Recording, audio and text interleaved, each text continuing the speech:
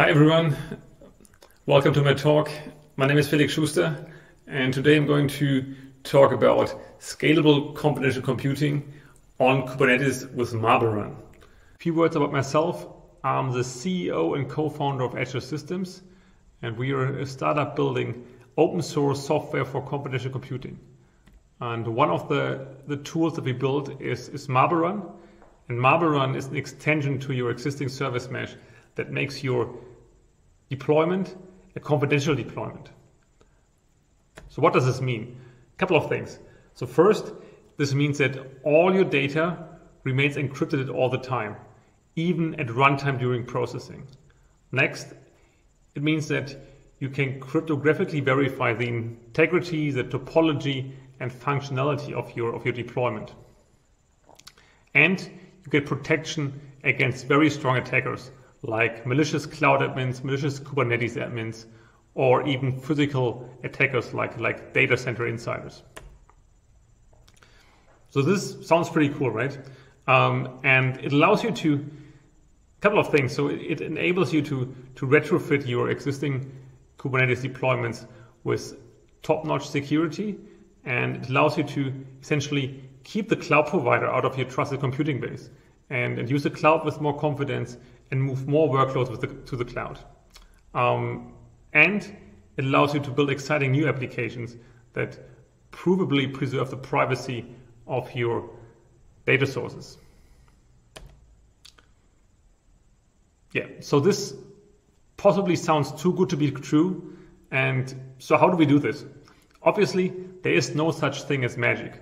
So we rely on, on a new technology called confidential computing. And in a nutshell, confidential computing is all about running sensitive workloads in so-called secure enclaves. And these enclaves are available on many recent server CPUs, for example, from Intel. And these enclaves have three defining properties. So they can run arbitrary software in, in, in strong isolation.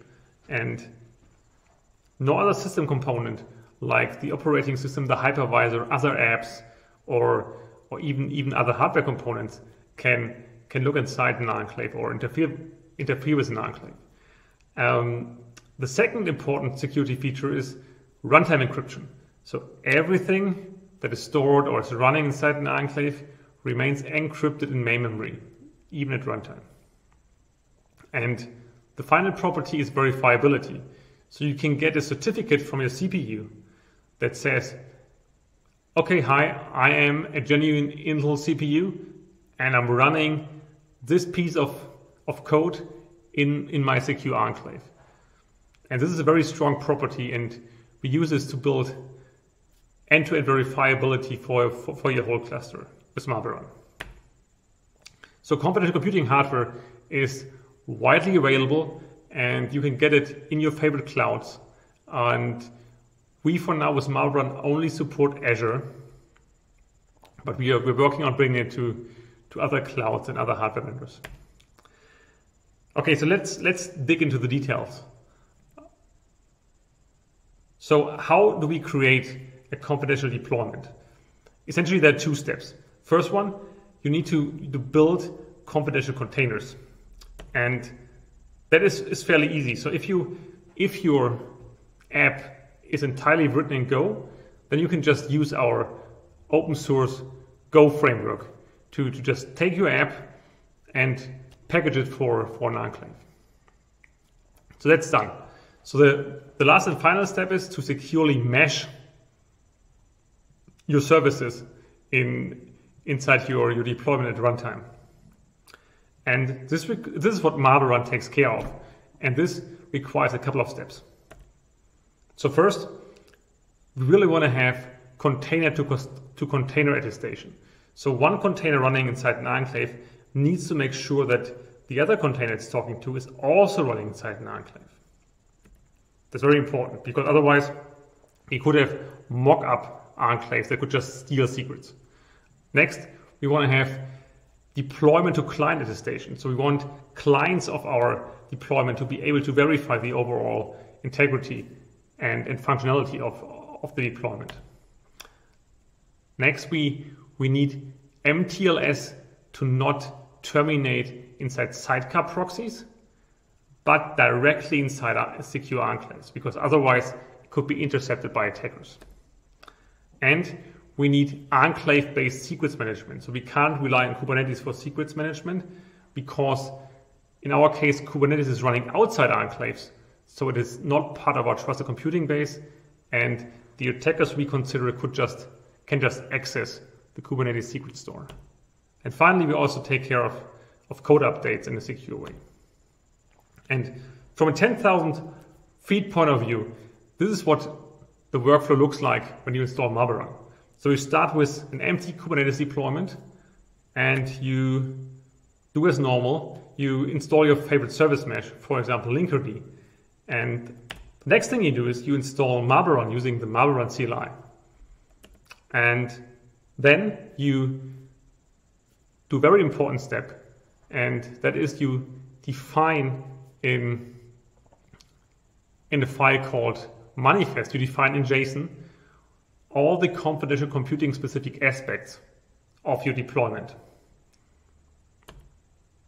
And the final step is you install your app as normal. And if you packaged your app with, with Ego, then your containers will automatically contact the MarbleRun coordinator over secure and mutually attested TLS connections.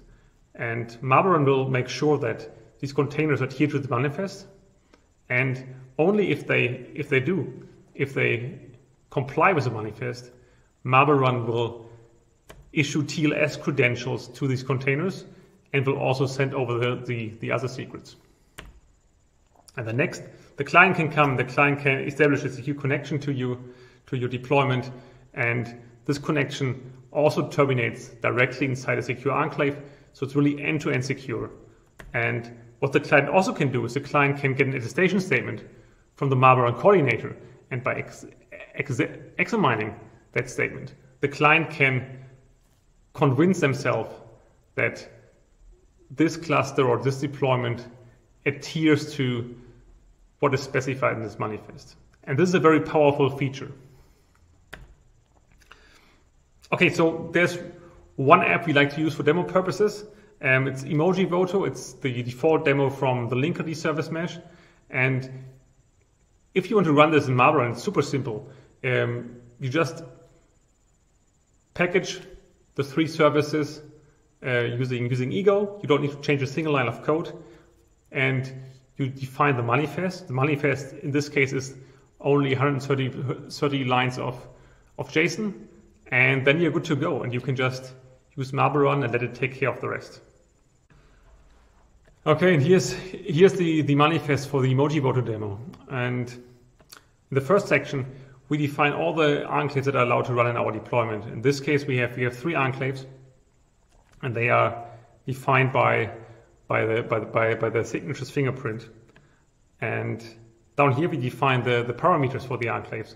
Um, in this case, mostly environment variables, but this could also be files, for example. And further down, we define the secrets that live inside this deployment. In this case, we just have one secret, which is a web cert. And these secrets get automatically injected into the right enclaves. And MarbleRun takes care of that. Right. This was my quick introduction to MarbleRun. I hope you found this interesting. To summarize, what MarbleRun does is it turns your existing deployment into a confidential deployment. And this is super exciting because this keeps all your data encrypted at all the times even during processing. And it allows you to verify the integrity and functionality of your deployment. Even better, it protects against very strong attackers like malicious Kubernetes admins, malicious cloud admins, or malicious data center workers. And it enables cool new applications that pre preserve the privacy of your data sources. Next steps um, check out marblerun.sh for code, further examples, and if you have any questions, feel free to, to join the Discord. And you can find me on Twitter at FLXFLX. And yeah, let's keep in touch. Let me know what you think. And Goodbye.